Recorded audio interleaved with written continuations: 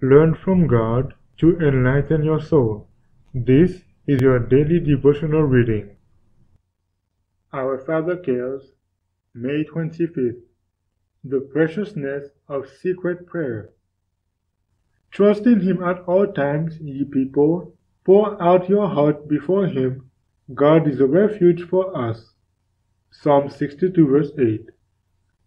A deep sense of our need and a great desire for the things for which we ask must characterize our prayers, else they will not be heard.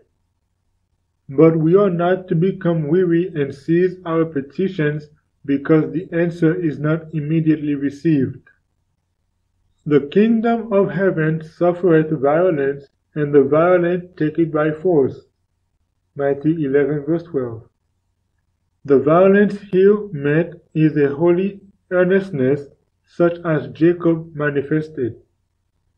We need not to try to work ourselves up into an intense feeling, but calmly, persistently, we ought to press our petitions at the throne of grace.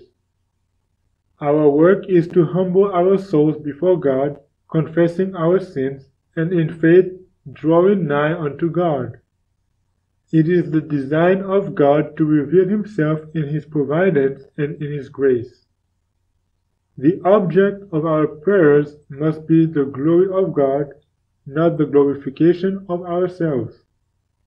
God has honored us by showing how greatly He values us. We are bought with a price, even the precious blood of the Son of God.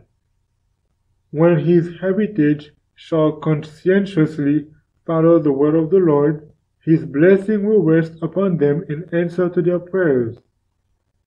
Therefore also now, saith the Lord, turn ye even to me with all your heart, and with fasting, and with weeping, and with mourning, and rend your heart, and not your garment, and turn unto the Lord your God, for he is gracious and merciful, slow to anger, and of great kindness Joel 2, verses 12 and 13.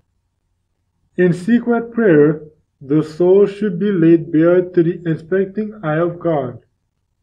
How precious is secret prayer, the soul communing with God.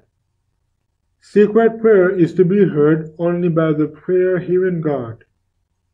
No curious ear is to receive the burden of petitions.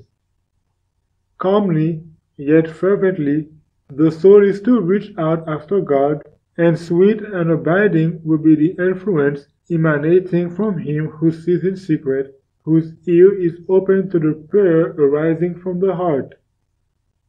He who in simple faith holds communion with God will gather to himself divine rays of light to strengthen and sustain him in the conflict with Satan. Our Father cares, May 25th.